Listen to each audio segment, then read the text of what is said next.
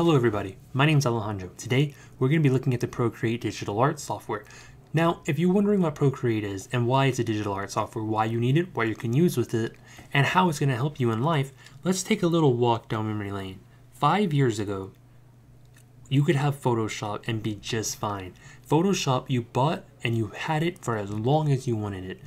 The downside was you needed a $2,000 Wacom drawing tablet, you needed a professional display monitor, which at the time, the cheapest ones were $30,000 if you wanted to do this on a professional level. You could obviously go cheaper with a non-professional monitor and a non-professional tablet, but if you want to be a digital nomad working professionally, whether it's going to be an app development, video game design, website design, UI design, or any kind of design within the information communication technology field, you had to have this stuff.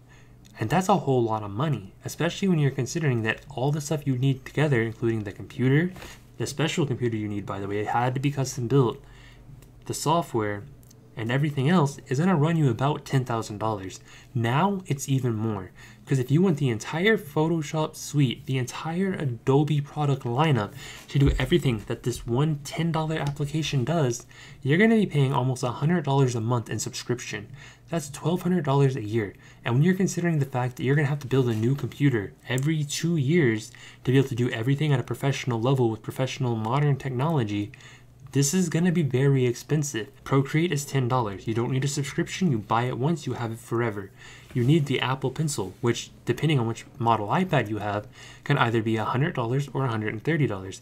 And the iPads themselves, you can either get a used one for as cheap as $100 that support Procreate, or you can buy the top spec 12.9 inch iPad Pro, which is what I'm using, for about $1,000. Do you use HBO Max? That website and its UI was all made using Procreate. Of course, they had to program it too, but Procreate was what made the art itself. Do you use Netflix? Did you know Netflix, all their posters are made using Procreate? Well, now you do. And when you look at all these app designs, every app I've ever made personally or contracted, I've used Procreate for its design. Every website I've used, every website I've made, I should say, has been done on Procreate for the art assets. And why would that make any difference in Photoshop? I'll tell you why. Because Photoshop's expensive, and then Procreate is not expensive. I've had websites that I've made that have over 100,000 visitors a week. I've had apps that I've published that have had tens of hundreds of thousands of downloads. I know my way around Procreate. I know how to turn you into a digital nomad. You just have to follow my guidance. Follow my stroke of the pen. I found my closest thing to a Bob Ross shirt. And now here we are. Allow me to be your digital Bob Ross. You can import things. Now the cool part about import is everything you see here is different brushes I've downloaded, which I'll show you later in this video. Different brushes to download to get, you know, wonderful art can select. Now selecting allows you to preview. Once you selected what you want to look at, you can preview it, you can share it, you can duplicate it, you can delete it. This is probably the part you're going to be looking at most, which is the part we're going to be looking at right now. You can create your canvas size. There are many different ways. For this, we're just going to be clicking on our screen size so that everything is 100% equal among everybody doing this.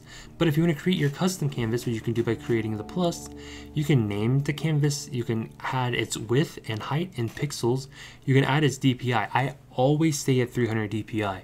The reason to stay at 300 DPI is because it looks better when you blow it up and it looks better when you blow it small. And you don't know the devices these people are going to be using. If you're making a website, for example, somebody, somewhere, I can guarantee it, is going to have that website displayed through a projector on their wall. It might be 100, 200 inches. So you're going to want to have that big DPI so it doesn't become a pixelated mess. Of course, there's color profile. I don't recommend messing with color profile too much. If you're going to print it for a t-shirt or something, or a poster, then CMYKs, this is the group you're always going to want to go for. If you're going to want to make it for an app, or what we're using it for, keep it on RGB. As long as it stays digital, RGB is perfectly okay. Time lapse. This is actually really, really cool because once you finish what you're doing, you can have the whole suite here and just watch back everything you've done, the hundreds of hours of work that you've done. You can watch it all for that particular file. Canvas properties, you can change both of these when you're inside the canvas. So we're not going to bother with this right now because it's kind of useless here. But with that being said, click on here, screen size, and click back into the gallery. The gallery here, you can do a lot of things. Now the cool part is, as I was telling you earlier with the selection, how it wasn't really necessary, you can swipe left on the application's file that you're looking at. You can share it, you can duplicate it, or you can delete it. There's no reason to delete it. You can click on the name, it's untitled, that's perfectly fine. This is for when you have your presets set up. You can name it. We're gonna call this lesson training. So once you have that typed out, click on here. You can pinch it with your fingers and change it however you want it, however you want the size to be. But that's really, really cool.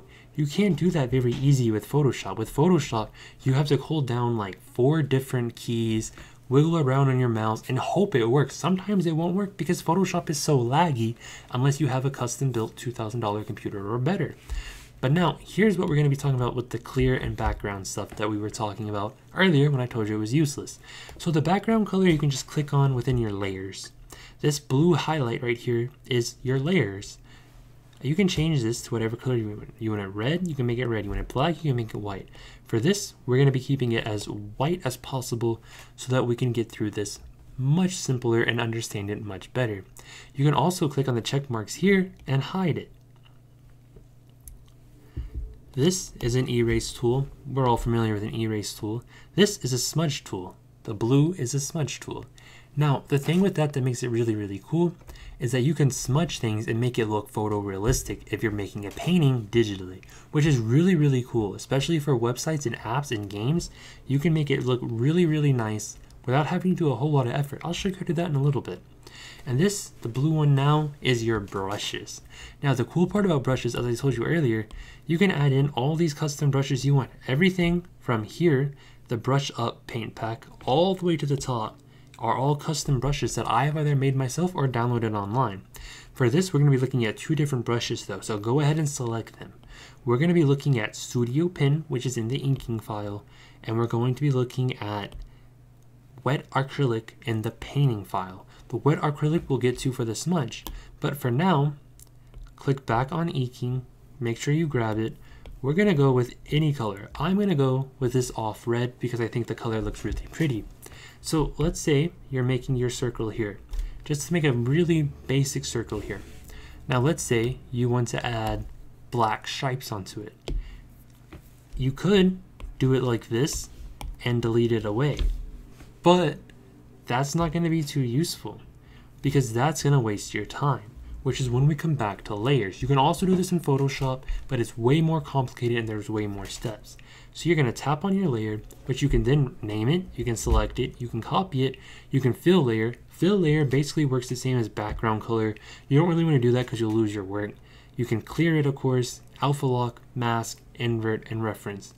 I don't use mask. Mask doesn't really work too well on anything except for really, really high end digital art stuff, which is weird to say because this is a really, really high end digital art. But you just don't have the tools to do a digital mask, which is perfectly fine because a mask is what you'd be using if you're taking photos with an actual DSLR camera. You would mask it to do a double exposure or something like that, but when you're using this as a digital nomad, you don't gotta worry about that. So click on Alpha Lock. Going back to what we were doing, once you click on Alpha Lock, you'll notice checkboard behind all this stuff. And once you're at this point, you're gonna go back here, click on your brush if you accidentally switched over to erase, and then bam, you can add your stripes. Because it's only gonna allow you to draw and within what you already had prior to alpha locking it. Now, to undo that, just simply click alpha lock. To clear this area, because we don't need this going forward, bam, you're cleared, you're good to go. Now let's walk around the rest of this real quick. Now let's look at wet acrylic once more. Let's use some pretty colors. Let's use some summer colors because it's, you know, getting to that time. Let's use this nice colored pink and this nice colored blue. That's what I'm personally using because I already had it listed. You can use whatever colors you want it, but I'm just doing it for this. Now you'll see a small overlay here. Now that doesn't really look all that nice as it's blended in together. That's how you do blending on Photoshop. You have to hope that it'll blend together like that and look nice. But it's not going to look nice and it's not going to look photorealistic. But now with this, as long as you have wet acrylic selected, or it doesn't have to be wet acrylic, just whatever brush you use to make the art, you have to have that selected, and then now you're here and you're good to go. Now, just draw over it, the same as you would. Circle it around, flip it around a little bit, move it nice and nice. What I like to do once I do this is I will add in a very strong regular blue and I'll look back at the color I had before, make it a little bit higher. And now once you have that, you have your default color from before and a little bit brighter color than your default original color. Draw it in circles like this. And it gives you this really nice blob that could look really, really nice. But if you want it digitally photorealistic, take back your two original colors, flip it over, and only go down one time. And you got a very very photorealistic. It looks great. It's wonderful. And if you're doing that on a painting for, let's say, a video game, it's gonna look really, really nice. Next up, go back to your Studio Ink pen and draw a square. Any size square with any color you want. There's an easier way to do that. You don't have to do that, you know? As you notice, it's snapped. Most people are going to draw really fast, draw squares like that. You don't have to. You can do this, hold it, and it'll make straight lines yourself, or itself, I should say. And it looks very nice when you do that. Now, we're still on this layer 1. If you don't want to do that all on the same layer, which you probably don't want to, you can click on over into a new layer. And the new layer, you got a new box right there. But if you don't want to look at it, there you go. You don't have to. So now that we're into this part and I've showed you how layers work, now let's look at photos and photo importing. Photo importing is very different than a photo import in Photoshop. In Photoshop, you can just resize it. There's not a whole lot you can do. So for this being said, I'm gonna jump cut because again, I can't show you my photos, but make sure you click on your own photos, select the photo you want. Now here, there's many different options for you to insert. You get your help bar, which can help you find things, of course. You get your preferences. This is my preferences. You can play around and find the preferences you prefer. This is your video, where you'll get your time lapse that we talked about earlier. This is how you'll save it. You can save it as a GIF. Again, you can animate on here. You can save it as a GIF, a PNG, an MP4, and an HEVC. Now, HEVC is kind of useless when it comes to digital stuff now when it comes to video. So make sure you click that as an MP4 so that when you export it into a video editing program, you can make that over into H.264 and it'll look fabulous. Now here's Canvas. You can have your drawing assistants, which is basically just showing you what you've done. It's really just there to help you um, animate, but we're not going to be touching that here because we're not animating, we're creating UIs. You can have a drawing guide, which gives you lines, and this is really, really good, especially if you're making pixel art for a video game. There's nothing better than this. Your pixel art will look amazing. You can reference, which here you have it. This is your reference image. You can flip your canvas horizontally. You can flip the canvas vertically. You can see all the information here, which is again, it takes us back to what we were looking at earlier. It shows you your size, your layers, your color profile, your video settings, and of course your statistics, which I find this really, really cool. I love seeing how many strokes I've made and how much time I've spent on a piece. It's really quite useful, especially as you get deeper into this. Now, when we look at this again, going back to the things we can add, we can insert a file, which is just inserting a photo that you've saved on iCloud. So it's really going to be the same process as inserting anything else. You can click on an insert a photo, which again, I cannot show you my photos, but if you click on it, you can click on your photo and it just draws it in. It's real nice and simple. You can take a photo with your camera, which is really, really cool, especially if you're just like out and about and you see something you want to draw it, take a picture, use it as a reference, you're good to go. But now let's look at text before we add in a photo, which we'll come back to for that box. Click on add text. You can pull it around anywhere for how much ever you want to do. Now the cool thing about this is it's going to take the color that you last used. And when you pull this around, you can pull this here, here, anywhere. You can do so many things. You can do the same things when you're pulling this as you can with a photo. But we're going to save that for the photo because if we start messing around with it too much, this layer is going to rasterize, which wasn't there when we were looking at the other ones. Basically, what rasterizing does is it takes your text and it makes it an image. So it's no longer a text. You cannot mess with it. Some people will do that when they're making overlays. I don't necessarily like doing that. I like doing that stuff by hand or just multiple text, but it's there if you want to. Now to get rid of this, double tap it. Here you have a whole bunch of fonts. I have a lot of fonts that I've installed, like this one. This is my favorite font to use in UI because it looks so clean, especially when you're in the style version and you're hit regular. It looks so clean. Now, most of my text I will hard code. I'm not going to use it in UI, stuff like this, but you can do it if you want to. So let's just type something random. Let's type in age. Now see, I made a mistake. What was the mistake I made? I clicked out of the text typing area and now it asks me if I want to rasterize or edit text.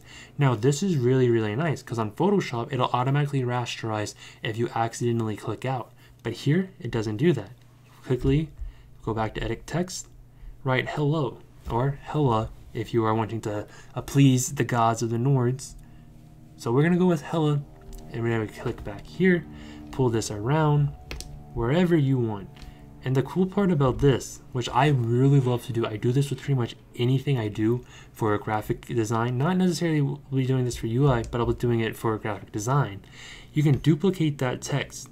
What I would do here is hide that text, click here again, double tap it, click your color wheel, make it black because it looks nice, or make it any color you want. And now that you have that, you can pull it and drag it down so that it's under the blue again. Now that it's under the blue, tap this and then just slide it as slowly as you can. And you get a nice little 3D effect on your image and it looks really clean, especially in graphic design. Making it look as clean as possible is all you want to do. It's beautiful, it's perfect. But now let's go back here, click on insert a photo, choose the photo you want. Now this photo that I've selected is for Square Enix Presents, which is basically like an E3 style event. But now that we have it here and the image is out, first you want to click on your layer. Layer 1 is where we clicked and made our little box. So pull this under here so that it's behind. Now this is really, really neat, but it can be very annoying when you're first looking at it. So first, I'm going to walk you through all the different things you can do on this. So you can drag it around, of course. You can warp it, which we'll get to in a second. So you can flip it horizontally, vertically, 45 degrees, fit it to screen, bilinear, reset it if you don't like how it looked. You can freeform it, which is really cool because you're just grabbing it around, making it however you want it to. But there's an easier way to do that. Click on reset if you're ready to move on. Click into distort. You can just drag it around. And this is the easy part that I was telling you about. So first what you're going to do is uniform it. You're going to get it to about where you want it to do. Click on this green part right on top. Rotate it to however your box was made. Click on distort.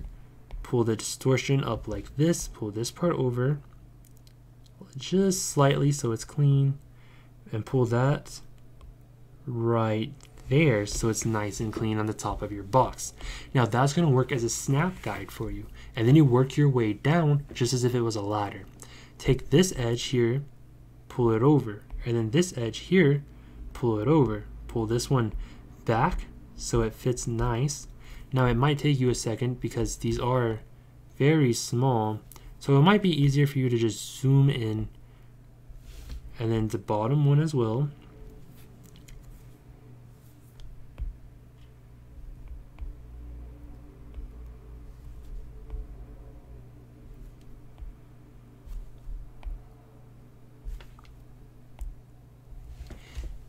And boom, now that you know how to do this, you know how to create a somewhat of a billboard. You know how to create an app facing on a phone and a digital advertisement without a blur. So many people you'll see on YouTube will take a phone picture and then just say, hey, this is my app, go buy it. They won't take the time to do something like this. Doing that in Photoshop takes like 30 minutes. Doing it here Took like 10 seconds. Very nice, very simple, very easy, easy breezy cover girl. Now, next step is going to show you a little bit more about the brushing. So here you have it. If you're using an Apple Pencil official and not like, you know, the Logitech pencil or any of the other brands that make them, you've noticed that it's pressure pointed. I can make it as thick as I want, or I can make it as thin as I want, just by how much pressure I put on the brush. So you have a blank canvas once again from collecting all these to hidden so you don't mess with them or have to do too much. Now let's say a UV texture is like this, but it's not gonna be because that's an ugly box. So now here, I'm gonna teach you how to do this next. I have rectangle select. You can automatic, freehand, or ellipse. Now the thing with automatic and freehand, it's not, it doesn't work very well on anything. There's not a single place that that actually works. So click on rectangle, and then when you make your box, make it as however size as you want. And we're gonna pretend this is a UV texture. And then pull whatever color you want into it. We're going to alpha lock it just for easier explanation of what a UV texture is. Select any color you want and a UV texture. Again, remember to hold down. Once you hold down, you can move it however you want. The UV texture would have been created for you in a digital software 3D modeling application, which Procreate doesn't have one yet, but they are rumored to be making one. Now let's say you have this here. This is your UV texture. But you're going to want to have this look different on each side. These blue lines would represent a transparent line that's not going to show up. Now you have brown because you're making dirt. So what you would do is you'd fill this in here. And since it's already locked for you, you just color within the lines. We're obviously not going to go through every color, but that's how you use a UV texture. But how would you get that back out to the 3D model? You're going to click on the tool up here, share whatever file you want. You can do a Procreate PSD file, a PDF file, a JPEG, a PNG, a TIFF, or any of these others here. Now click on PNG. It's going to export, and then here you see it gives you an option to either send it to you, the people you talk to the most.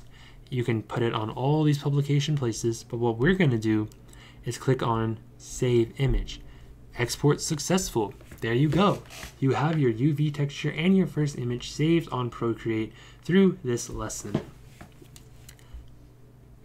The last thing to look at is right here the photo actual editing stuff within here.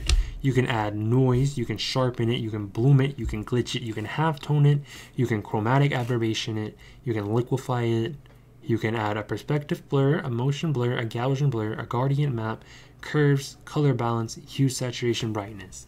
Now, here's what we're going to do here. We're going to hide this layer once again. We're going to make a new layer and we're to have a little bit of fun with this. So take a random color, probably the last one you use, and then something like this. Draw it around like this, just randomly. Take another color, just randomly, because we're to have a little bit of fun with this layer. And then one more time for one more color. Now see, you got all this mess here, all this mess. But when you come back here and you add some noise to it through the layer, you can start having it look a little bit cool, a little bit more like real life. Like this now looks like a chalk image you would see written on like a really beaten down, you know, sidewalk. You will slide your finger left and right for how much ever of it you would like. When you look over here, you can add some bloom. Bloom, adding it doesn't really do too much. It makes it really, really bright, which is really, really cool especially when you're making neon signs. Let's say you're making a cyberpunk style app or an 80s style app. It looks really clean and really nice. But now here's the part that I really enjoy messing around with.